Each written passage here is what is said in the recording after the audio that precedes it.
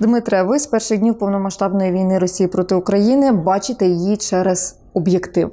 Чи дійсно це так? І які кадри, на вашу думку, для вас на сьогодні найвражаючі?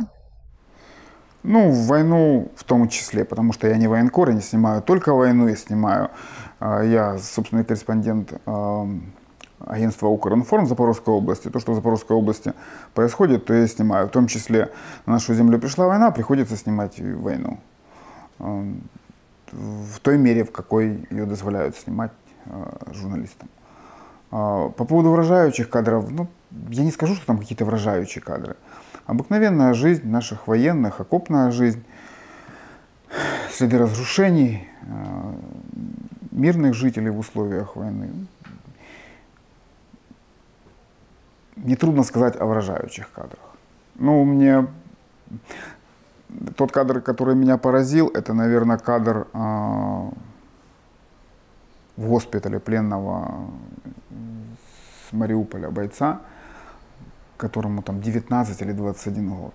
Вот. Нам а, показывали, мы видели все в эфире, в прямые включения а,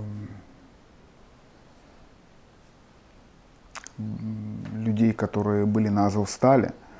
Вот. Такие киборги. И мы все смотрели на них и понимали, что с нами ничего не будет. Вот эти люди, эти, а, они не могут проиграть, они нас обязательно защитят, они такие все. И тут пацан, который годится мне в сыновья, тощий, э, улыбающийся мальчик с ранением, и меня это поразило. Я понял, благодаря ему, вот, в Запорожье мир, мы можем общаться с вами сейчас. Это они, э, в том числе, э, их заслуга, что в Запорожье мирная земля, в то время как они там в Мариуполе были в засаде.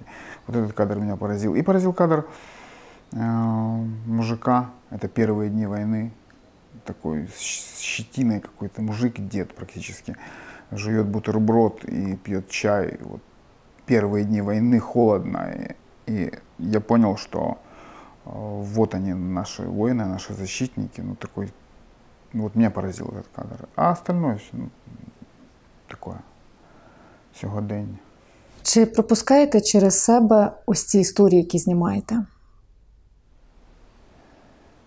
Нет, если все пропускать через себя, можно сойти с ума. А, ну, нельзя. Ну, конечно, оно что-то цепляет, конечно, оно что-то заходит, но я стараюсь абстрагироваться, потому что, ну, всю ту боль, ну, это горе. Его много, и все в себя вместить невозможно. Можно сойти с ума, спиться, или мне надо работать. Ну, надо профессионально относиться к своему делу. Які у вас є ключові секретики, аби дійсно ось так знаєте, відсторонюватись? Це робота, а це емоції? Я э, как бы достаточно по природе своей холоднокровен. Я после института служил экспертом-криминалистом, где тоже а, ты сталкиваешься со смертью, там, какими-то бытовыми э, ситуациями, когда человек попадает в беду, те же ну, слезы, боль. И, и меня тогда научили или сам понял. И вот с тех пор как-то. Я считаю, нам повезло. Можно считать за честь э, прикасаться к тем людям, которые в окопах, которые э, воюют, которые защищают э, нашу страну, нашу Украину. Окрім військових, з якими зустрічаєтеся, яких фотографуєте, ви ж також знімаєте і безпосередньо переселенців, евакуйованих людей, які прибувають до Запоріжжя. Да, Як з цим у вас? Чи є особливий підхід, можливо? Нет, никаких особливых. Ну, какой? Абстрагируешься, снимаешь, ищешь картинку, ищешь эмоции в кадры. Моя задача вот э, эмоция, сюжет вот в квадрат заключить, чтобы получился хороший кадр. Все. Я на каждой съемке беру у ребят телефоны и э, всем высылаю фотографии. У меня такое правило. Вот, но м- это надо мне, и пусть обо мне хоть вспомнят хорошим словом. Бувають такі випадки, наприклад, от бачите, що евакуйовані родини приїжджають. Ви розумієте, що цей кадр він якраз, як то кажуть, самий смак, але ви його не знімете. От з тих чи інших причин, що можливо для тієї родини це занадто інтимно. Якщо мені чоловік говорить, не знімати, я знімати не буду. Ну, как бы это... Ні, якщо люди не бачать, наприклад, ви розумієте, що щось це таке, що хочеться залишити поза кадром. Ну, у каждого свое воспитание, свои какие-то нормы, через которые человек переступить не может. Да, конечно, наверное, ну, то есть, если я знаю, что это снимать не надо, я не сниму, хотя это будет ржавчий кадр. Ну, тут от воспитания зависит. Надо в детстве читать нормальные книги, чтобы быть э, достойным человеком і поступати ну, по совісті. В якому стилі ви працюєте і який вам ближчий, можливо, зараз під час війни довелося змінювати? Я люблю більше широкий э, широкоугольный объектив, люблю динамику. Э, вот, вот так, наверное.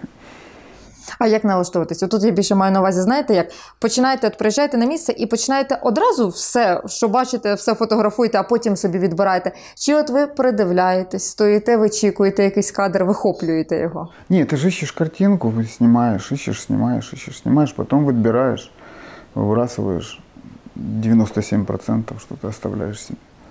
3% собі лишаєте? Ну, если 3% лишають, то это хорошо. Это ж ну, удача, когда у тебя получился нормальный кадр. Все інше, от для вас, що таке нормальний кадр? Це те, що по, за якими критеріями ви визначаєте? Ну, тут все просто, торкает или не торкает. Вот когда что-то, что-то вот я смотрю, что-то есть в нем, что-то цепляет, кадр нормальный. Вот. Ну и там основа же композиции, должно все сложиться, все, там и свет, и тень. И когда оно все складывается, тогда вот что-то получается. Що б вам на сьогодні, з того, що ви вже скільки фотографуєте, скільки бачите, скільки відображаєте, що б можливо хотілося спробувати, або які кадри відобразити і зафіксувати? Это больше не как фотографу, а как, как гражданину Украины. Мне хочется сфотографировать Бердянск без оккупантов, освобожденный. Кирилловку нашу свободную, там, Каменку Днепровскую, откуда я есть, откуда я вырос. Без этой расистской всей нечисти. Вот. И хочется съездить в Херсонскую область на рыбацкую стрелку, которая мне очень полюбилась. Вот Розовое озеро. И без всей, всей этой грязи нашу страну, без этой русни всей. У меня есть любимая командировка в моей жизни, где я ездил снимать а, в Бердянск рыбалку на рассвете. Вот мы с моей коллегой Олей Звонаревой ездили. Это моя любимая командировка. Вот сейчас там русские оккупанты. Вот я мечтаю поехать туда вновь, сфотографировать эту рыбалку. Главное, чтобы была свободная страна, чтобы мы отпраздновали победу. Это будет, но просто вопрос времени. Дмитре, я вам дякую за розмову. Будемо вам дякую. бажаю вам творчої наснаги, тому що тут вона необхідна, і будемо чекати на світлини з деокупованих територій. Да, это обязательно будет. Поедем, снимемся.